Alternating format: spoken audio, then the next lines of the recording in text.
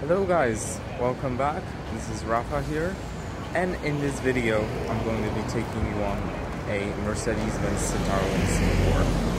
Now, if you watched my previous uh, video, the Citaro, uh, here in Singapore, uh, you might remember I mentioned that there are two types of Citaros uh, running here.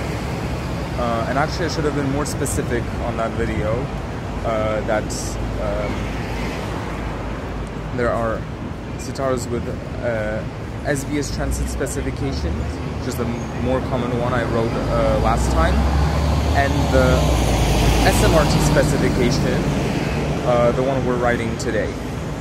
Um,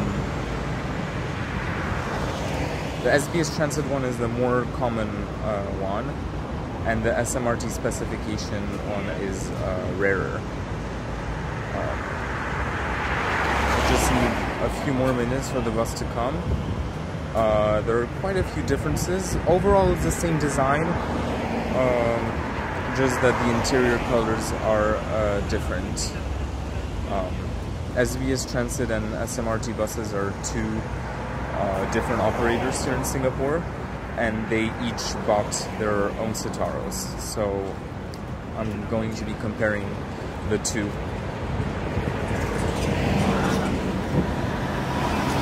Marsiling MRT station. Uh, I'm at the stop just opposite of it. It's called Opposite Marsiling Station. And I think we're going to ride bus route 925 because this is the most common uh, route for those Citaros to appear on. Uh, unless, um, unless a bus uh, like this comes on another service. 187 is possible as well. We'll see what comes. Is, just behind that non-A22.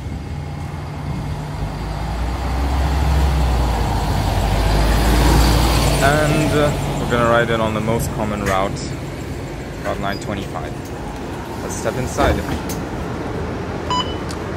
And overall, the first impression you get, at least that's the first impression I get, is that it's um, just a more sleek version of the SBS Transit specifications.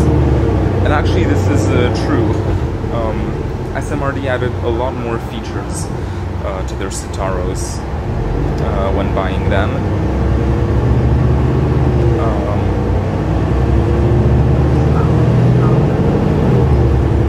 you might notice, for example, um, I would even say that the colors uh, are generally uh, more more high class looking. The silver poles, uh, the the blue seat covers, um, and then another thing is the is the electronic display of the stops. Uh, this is something that all buses with SMRT specifications have. This is something that all of them have. Um, an electronic display um, just a simple red one with the uh, bus stops. SBS Transit uh, never had that when they were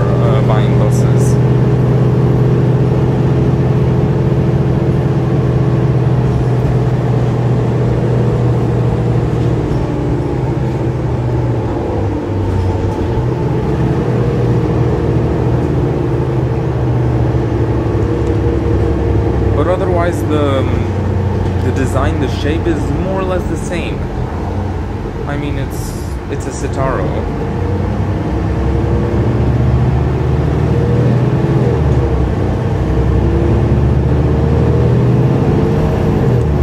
Oh yes, the unit that we're riding on is SMB181X.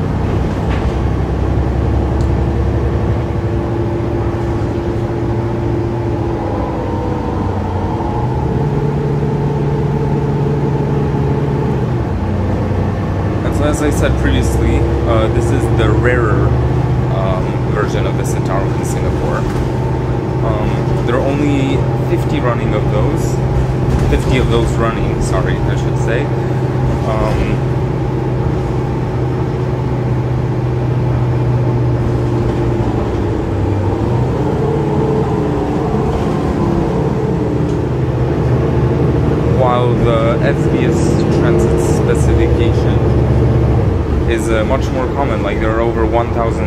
units running. See over here, this is the SBS Transit specification, um, more common one. And then why is it uh, more common? Uh, one reason is because it's simply because SBS Transit placed a larger order on uh, on them, while SMRT only placed a small order. But this model uh, actually first uh, debuted with uh, operator SMRT they first bought a demonstrator bus in uh, 2010. It's still here in Singapore, but unfortunately it's been assigned to training duties, so uh, it's not in passenger service.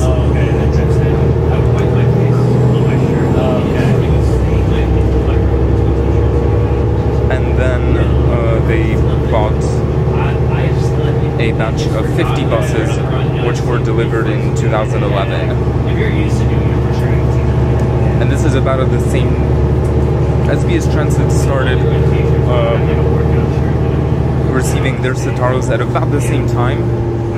Uh, I would say maybe a few months later, but they also started receiving their um, orders in uh, 2011. The first batch. Uh, the delivery of the first batch uh, lasted until 2012, and then uh, three, sorry, two more uh, batches were uh, ordered.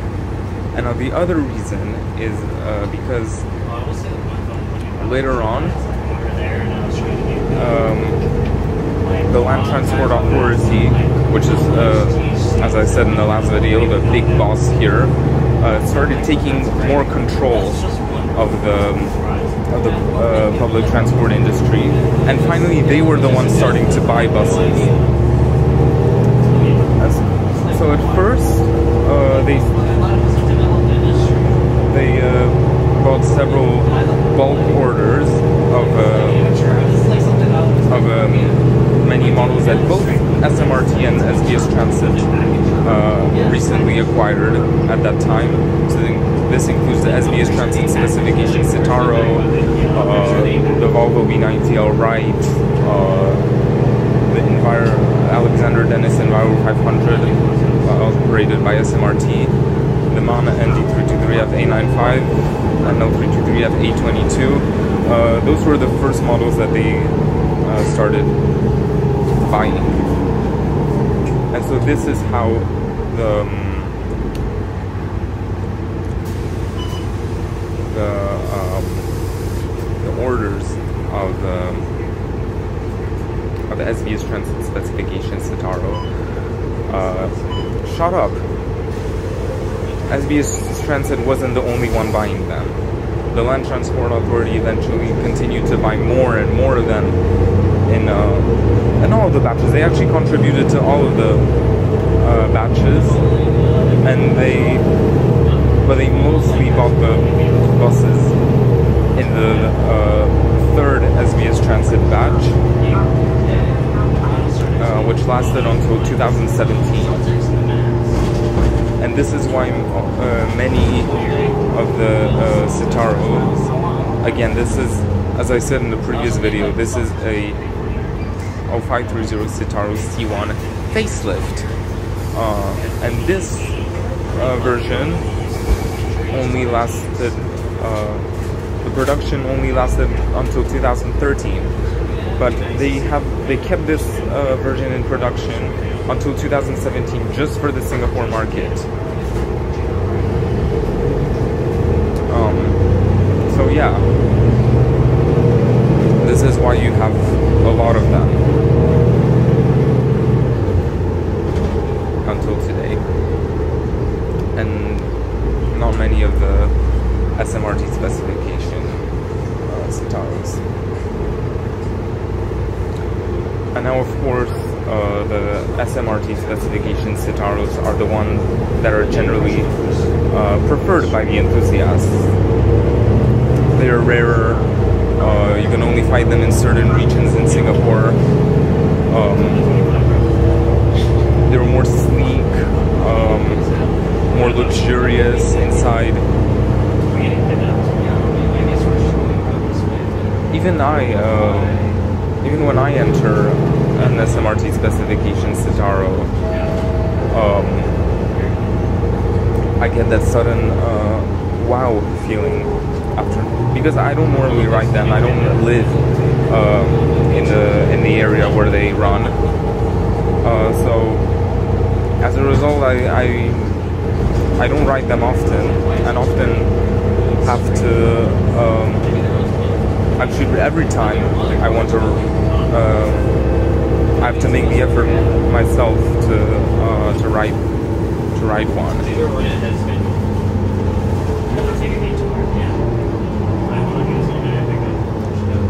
Now, um, the Citaros are equipped with a 286 horsepower uh, Mercedes engine and a Voith uh, gearbox, a four-speed Voith gearbox. With the exception of the first few SMRT specifications uh, Citaros, which are equipped with a six-speed ZF, but this one is a Voith. Uh, the um, yes, so the first ones were equipped with a 16 ZF Eco-Life gearbox. Um, to be honest, I'm glad that they uh, continued to buy the ones with Voith. Uh, ZF Eco-Life doesn't produce very much interesting sound, very interesting sound. Um, it's the Ecomat, the older generation Ecomat that actually has uh, some character. And the demonstrator unit was actually fitted with an Ecomat. But unfortunately, it got assigned to training duties, so there aren't really any um, Citaros to enjoy from, other than the few that have a nice voice, but you really have to be lucky to find one. That's usually the case.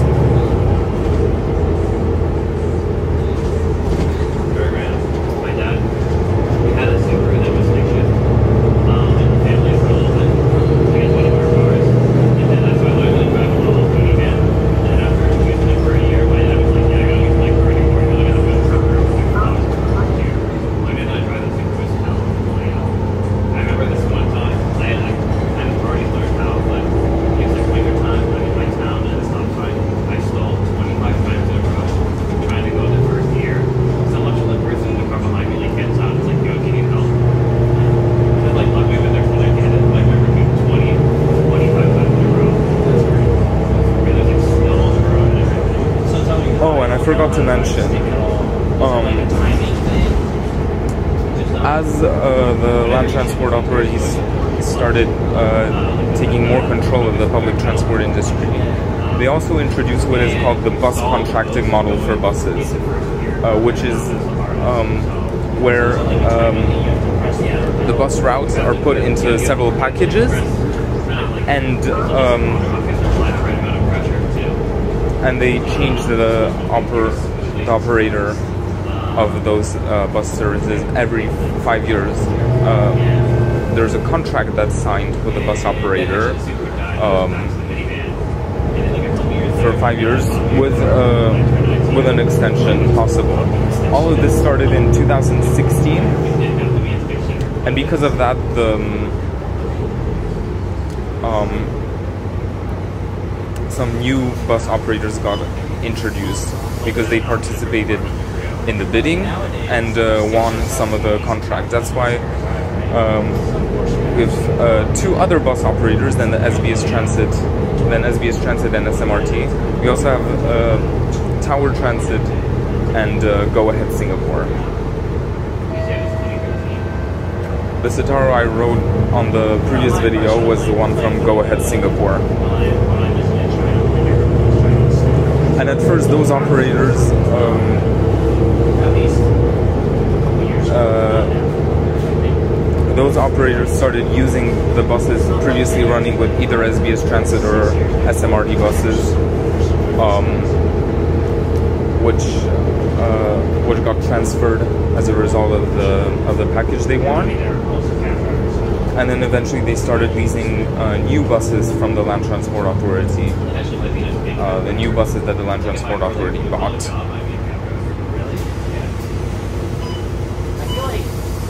Which is why, uh,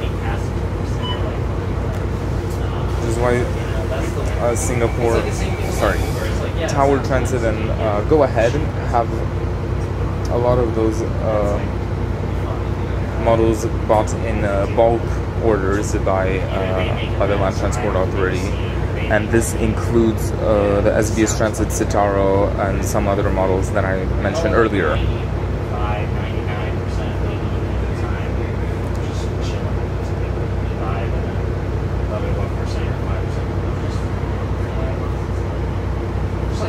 You know what? I'm gonna get off here. And I say that because I'm cute.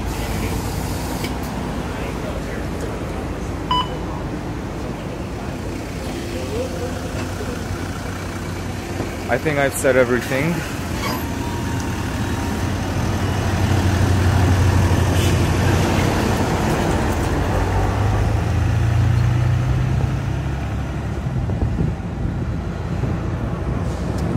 Currently at the Kranji Industrial Zone, sort of in the middle of nowhere, um, but we'll take the bus back.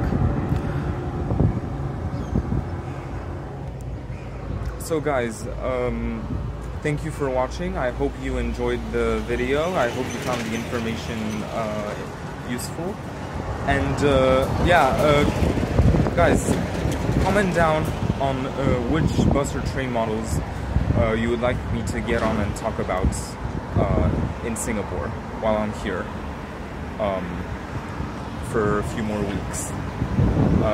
see you guys next time. Bye bye.